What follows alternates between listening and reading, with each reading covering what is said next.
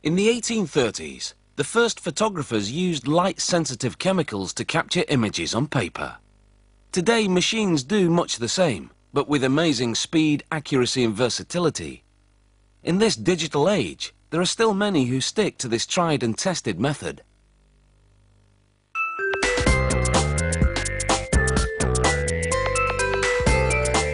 The Photo Lab receives envelopes containing rolls of film for developing.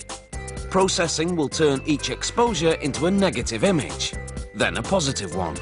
That positive is what we know as a photograph. A scanner takes a digital photo of the order details specified on the packages. It tracks things such as the print size and finish, and the number of copies that have been ordered. A conveyor then sorts the envelopes into bins, grouping them with similar orders.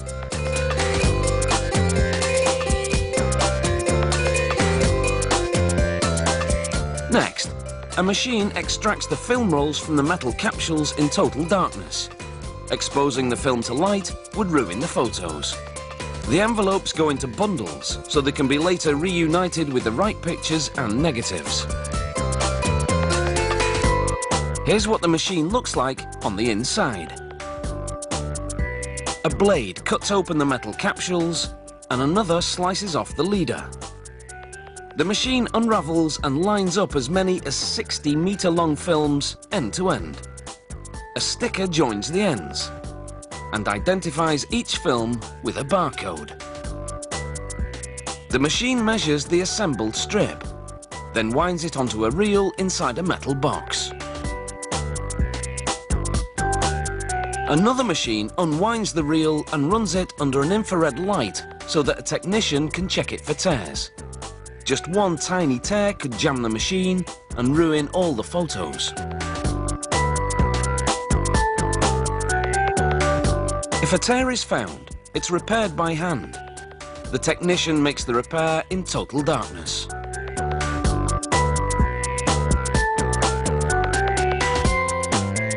First, he applies tape to reattach the area. Blades then cut the tape evenly on both sides.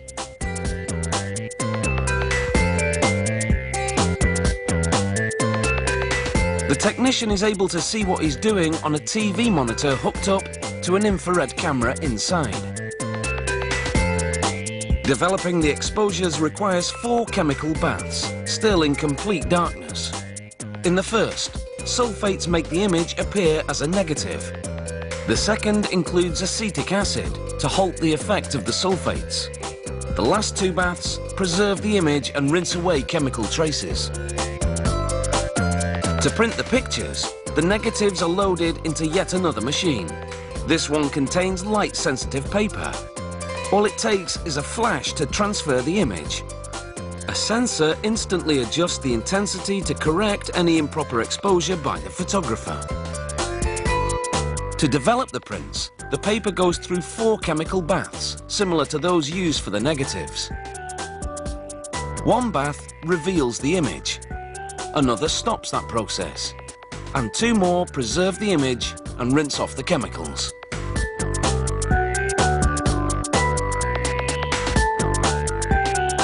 This time, however, the paper then heads into an oven to dry for two minutes at 70 degrees Celsius.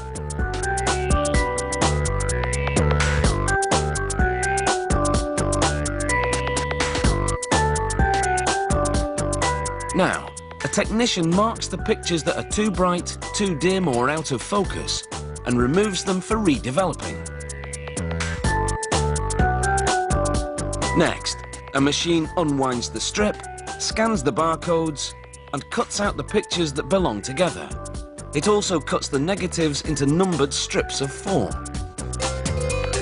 The photos and negatives are slipped into an envelope. The computer shows just what to include, and a machine provides the film's original package.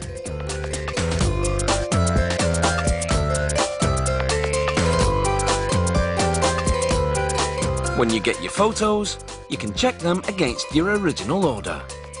So you can make sure that everything's picture perfect.